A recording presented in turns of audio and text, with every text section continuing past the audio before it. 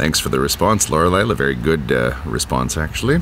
Um, yeah, I, uh, I, get what you're saying um, about uh, dealing with the disconnect between what we understand with our emotions and that which we understand with our intuition, as you mentioned, or even with our intellect.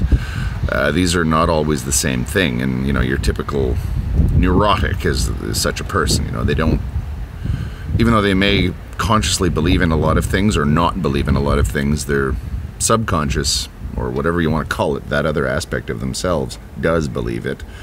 Um, or they tell themselves that they don't, that they do believe something, and the subconscious doesn't. Uh, it's an interesting disconnect, and it's not a new idea; it's an old one. Um, I think uh, it was explored rather well, actually, in that famous book by Hermann Hesse, the uh, the Steppenwolf, where he was a guy about my age attempting to come to terms with the fact that he was a mass of contradictions. Um, I think maybe it's a symptom of males my age, maybe women, I don't know, uh, that we get to a certain stage in our life and we um, we understand that we are what we are, and you know your your contradictions uh, are part of you, and maybe as a younger man you spent a lot of time ridiculing people for being that way uh, only to see over the years that you're like that yourself. um, but again, that's you know that's just sort of the psychology, I guess, of aging or the psychology of male middle age. I don't know, um, but um, it's uh, explored in many other uh, ways as well. And one of the things that I like is the fact that um, you bring psychology into this. Um, I'm I've never studied psychology myself. That's probably obvious, but I do um, have the opinion that nothing should be excluded from one's own personal philosophy, and psychology is definitely something that I would not exclude.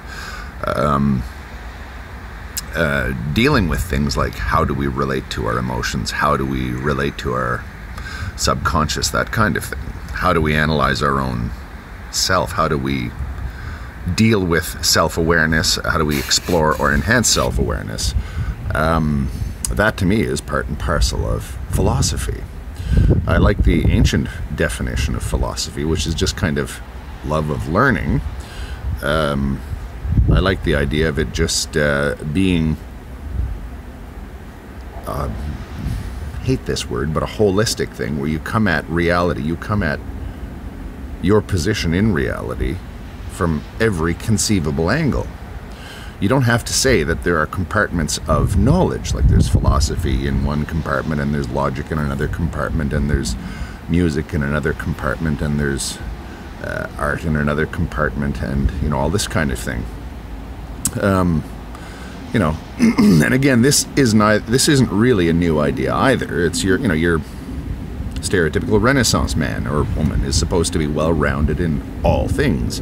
And the implication is, of course, among uh, you know your uh, well rounded individual is that the constituent parts are at peace with each other, or at least they've got a modus vivendi.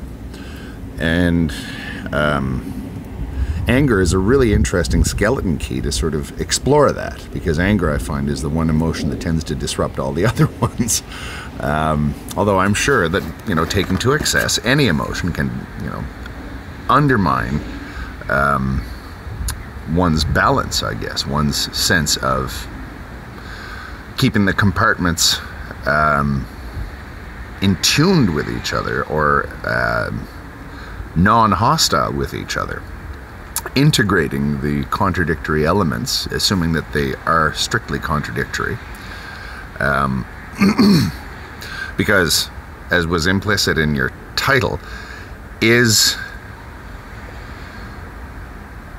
if human beings are by nature contradictory, are we contradictory? Because it's it's not a contradiction to be human and to be contradictory. Interesting how this goes, isn't it?